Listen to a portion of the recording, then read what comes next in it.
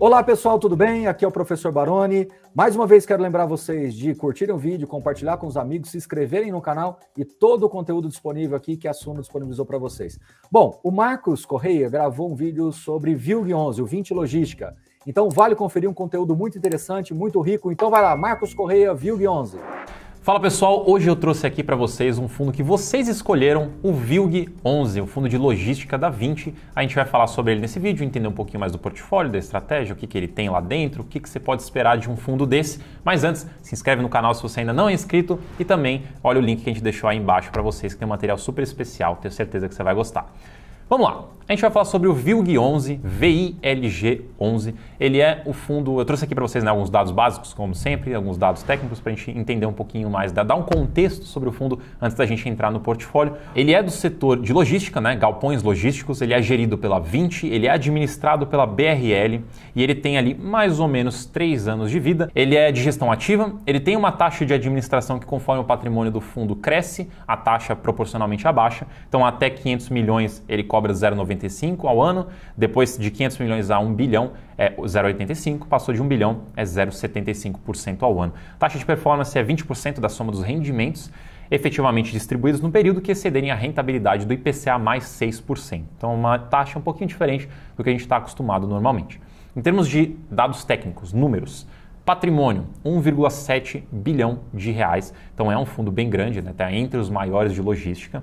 O valor patrimonial por cota dele é 113,80. Lembrando que eu peguei esses dados aqui uh, baseados no dia 5 do 12, mas também foram dos do relatório de gerencial de outubro. Então, dependendo de quando esse vídeo sair, talvez já tenha saído aí de novembro, vale depois dar uma conferida. Mas na data dessa gravação aqui, 113,80 é o valor patrimonial. Ele está sendo negociado ali na casa dos 89 reais, que dá 0,78 de PVP, ou seja, mais de 20% de desconto em relação ao valor patrimonial. O dividend yield dele dos últimos 12 meses dá 8%. E cotistas, uma base bem grande de cotistas, 143 mil, mais na verdade, né? 143.233 para ser mais específico. Em termos de liquidez média diária, ou seja, o quanto ah, é negociado de cotas no dia desse fundo, 3,3 milhões. É um fundo bem líquido. Muita gente tem dúvida né, de, de que uma liquidez interessante. Acho que assim, tudo depende do tamanho do seu aporte para ter um número um pouco, um pouco mais ou menos interessante. Mas a partir de um milhão de reais por dia já é uma boa liquidez aí para os fundos que você estiver olhando.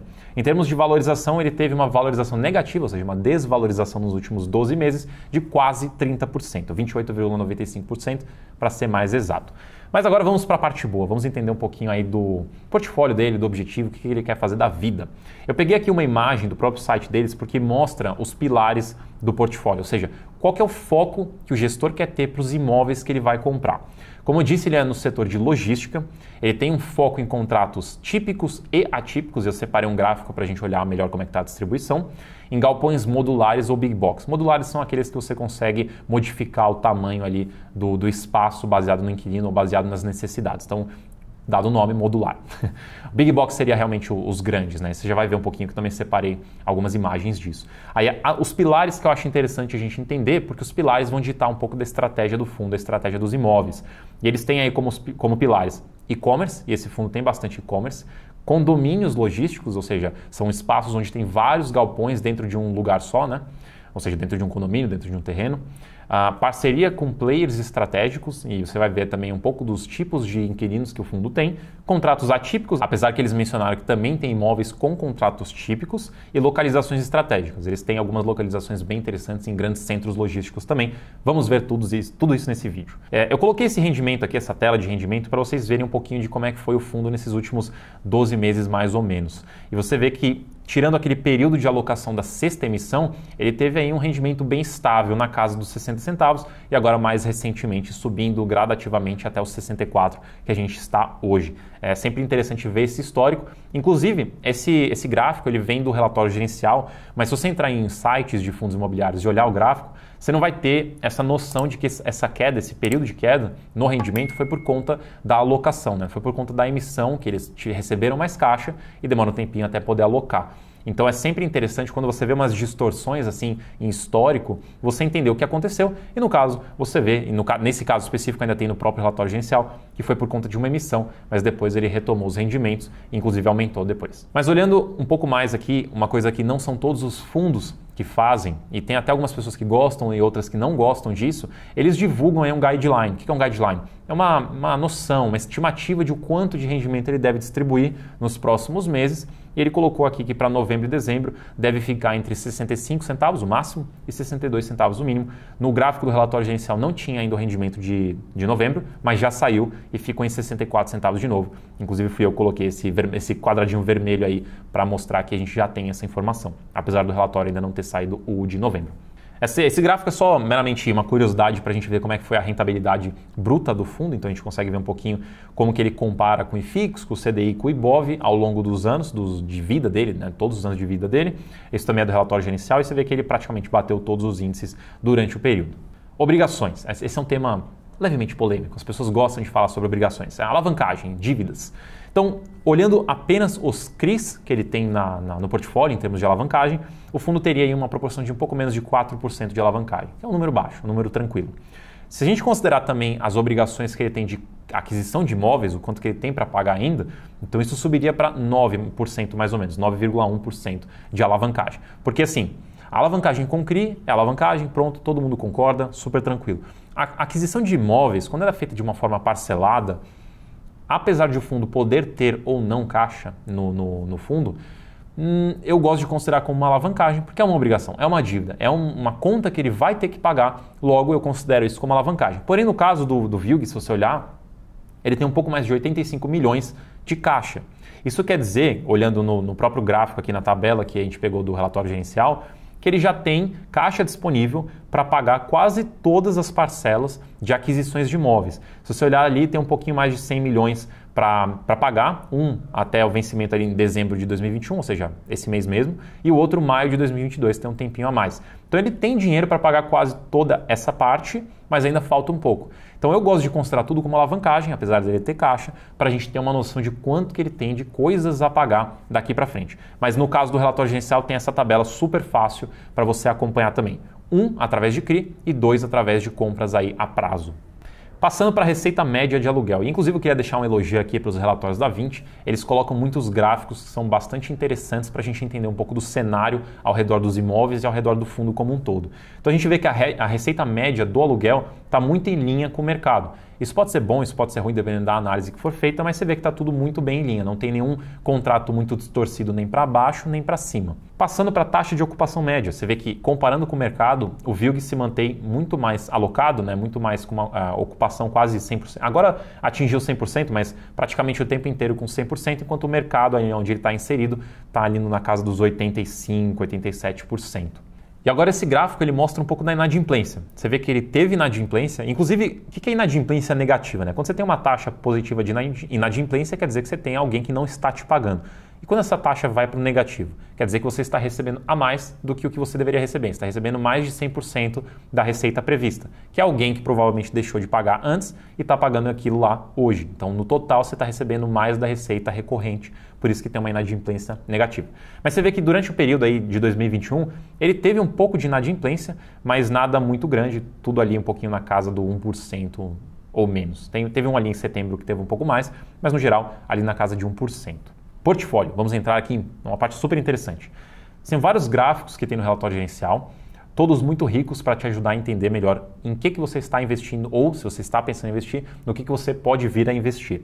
Então ele tem muitos locatários, 52 para ser mais preciso, e os maiores ficam com Tokstok, aí tem grupo Magazine Luiza, grande locatário também, Ambev, L'Oréal, Privalia, e daí depois também a gente pode olhar um pouco mais dos setores em que ele está inserido. Então você tem bastante de e-commerce. Eu falei lá no começo do vídeo que era um pilar do, dos investimentos. E-commerce, quase 40% aí do portfólio está nesse setor. Tem bastante de transporte e logística também, quase 30%. E daí proporções menores em alimentos, bebidas, fumo, cosmético, eletrônica, saúde e outros, né?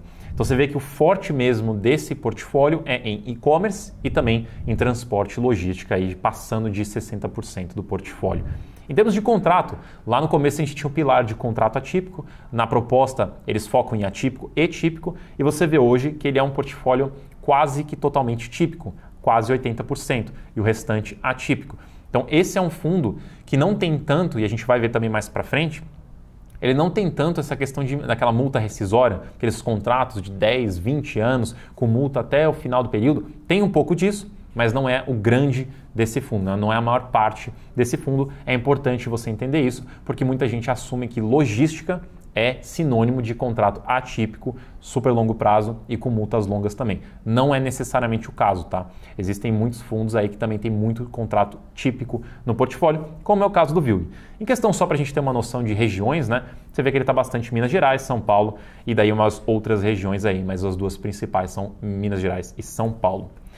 Os contratos, vamos, vamos olhar um pouquinho mais os contratos, que é interessante mês de renovação e os índices de ajuste. Você vê que ele tem bastante contrato em IGPM, bastante contrato em PCA, mais em PCA, né, mais 60%, e a grande parte das renovações elas são feitas em janeiro, em abril.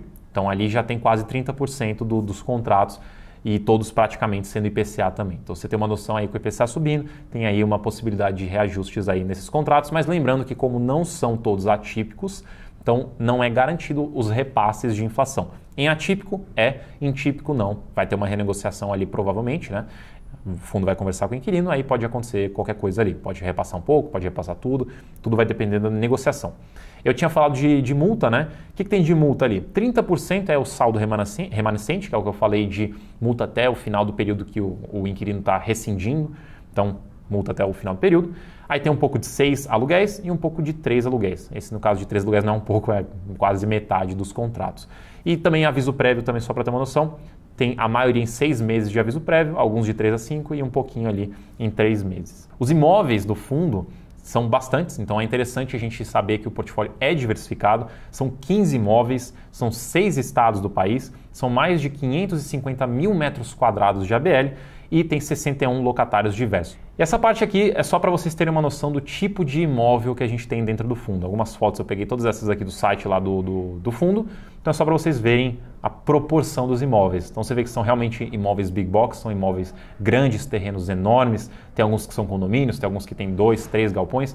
Então é interessante para você conhecer um pouco mais do portfólio. Lembra que fundos de logística não são todos iguais. Você tem que entender estratégia e perfil. E com essas informações que eu estou te passando, você consegue entender um pouquinho melhor dos dois no Vilg. Isso aqui, tudo que eu passei para vocês, eu espero que tenha ajudado para vocês entenderem bem a estratégia, entender bem o propósito, a gestão que eles querem fazer com o fundo. Qualquer dúvida, deixe aí nos comentários e me diz também qual é o próximo fundo que eu tenho que estudar aqui com vocês. Valeu, se inscreve no canal e até a próxima.